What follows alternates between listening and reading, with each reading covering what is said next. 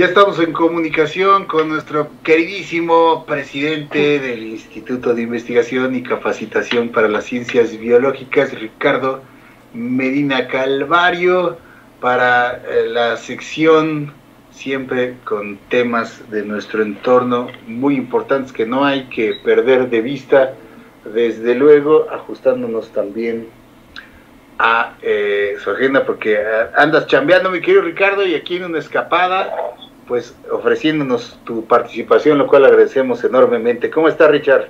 Afortunadamente bien y más bien yo les agradezco la oportunidad, este, pero sí con la chamba tuve que cambiar, cambiar el día porque iba a estar muy presionado, pero con mucho gusto aquí estamos. Nos parece perfecto, Ricardo, siempre es un gusto y además eh, siempre nos interesa escuchar lo que nos tienes que decir. ¿De qué nos vas a hablar en esta ocasión, mi Richard? Pues el tema tema que hemos venido eh, hablando de él, que tiene que ver también con el presupuesto, hace algunos años se determinó establecer en la, en la Ciudad de México, no es cierto, iba a decir en la Ciudad de México, en, en México completo, la Estrategia Nacional de Calidad del Aire.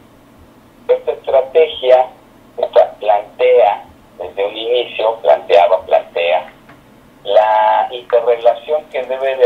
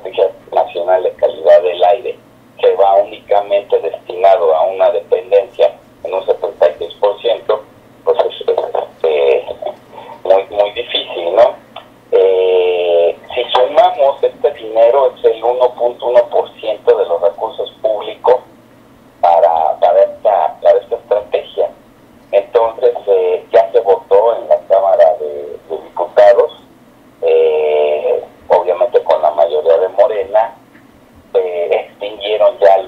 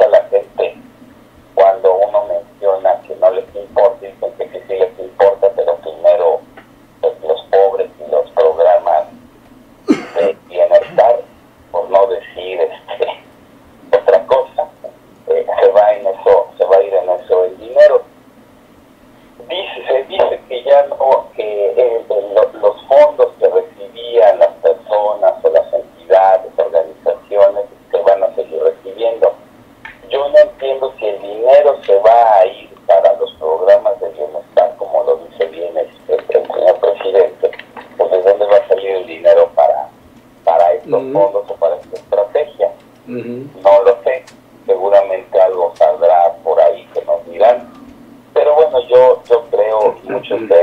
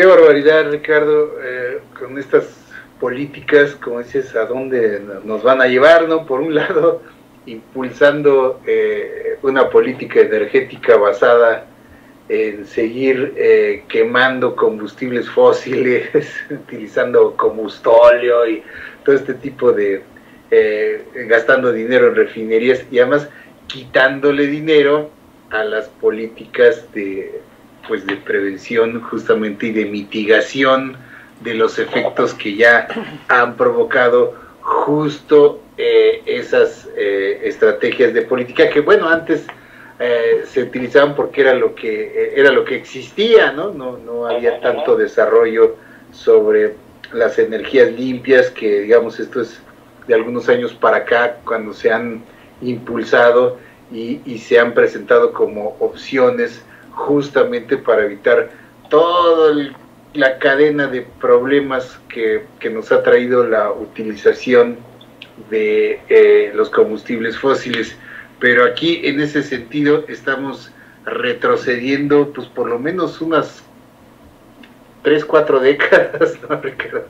Para regresar a, regresar a las etapas donde eh, es como, o nos quieren hacer creer que estamos justamente en aquella época de, la bonanza petrolera y de, cuando el petróleo justamente era la, tocada, como dicen los chavos, y, y no es así, ¿no? Le quitan dinero a los gastos y a los rubros estratégicos y se lo dan a sectores que no eh, son no lo son tanto no eh, eh, bien dices tú es una pregunta que también aquí nos hemos hecho mucho. Si bien dicen que no van a faltar recursos en esas áreas donde se están eliminando los fideicomisos ¿por qué el argumento es que se quitan los fideicomisos para utilizar el dinero en el combate a la pandemia no no no checa ahí no no simple y sencillamente no checa la argumentación como no checan muchas de las cosas que se nos plantean y que por eso señalamos aquí, porque es en base a sus propias argumentaciones y declaraciones que a nosotros los ciudadanos, pues no hay que ser, no hay que hacer un análisis así profundo y sesudo, nada más hay que contraponer sus mismas declaraciones una enfrente de la otra y dices, pues esto no tiene no congruencia, no tiene lógica siquiera, mi querido Ricardo. Es correcto. Un dato que me faltó y bueno, lo anoté, la Organización de las Naciones Unidas eh, recientemente publicó un documento que tiene que ver con salud y medio ambiente, calidad del aire, donde indica que en los últimos 20 años 1.2 millones de personas han fallecido derivado del cambio climático, principalmente por la contaminación atmosférica del aire, como le gusten este ¿En qué, ¿En qué tiempo, Richard? Eh, ¿En qué tiempo, perdóname? Menor, pero contando del, del 2019 o sea, desde el 2000 a la fecha, han muerto 1.2 millones de personas. Es como otra epidemia. Es como otra epidemia, Ricardo, silenciosa, ¿no? Como otra epidemia silenciosa que... 20 años, y podrá ser muy poco si lo divides en años o en meses, pero es un problema muy grave y que estamos dejando pasar. Entonces, bueno, pues es lo que nos queda es seguir informando y este, que la gente vayamos haciendo conciencia poco a poco. Así es, querido Ricardo, porque sí, con estas políticas equivocadas, eh, pues seguimos quemando petróleo, seguimos eh, perjudicando nuestro propio ambiente y además del el virus eh, del SARS-CoV-2 y de la influenza y de la violencia, pues ya nomás nos falta caer muertos por un aire eh, cada vez más contaminado. Pero bueno, qué barbaridad. El tema y los datos. Pues muchísimas gracias, como siempre, Ricardo. Eh, te digo que siempre es muy interesante escuchar eh, justamente temas que, pues en otros lados, simple y sencillamente pasan de largo o ni siquiera se ocupan de tratarlos. gracias por traernos estos asuntos, mi querido Ricardo. Al contrario, les agradezco mucho la atención y pues seguimos en contacto. Gracias, querido Ricardo, te mandamos un abrazo y nos escuchamos la siguiente para Ustedes y para todos, síganse cuidando. Gracias, querido Ricardo. Gracias. Continuamos, queridos amigos, aquí en Disyuntiva TV.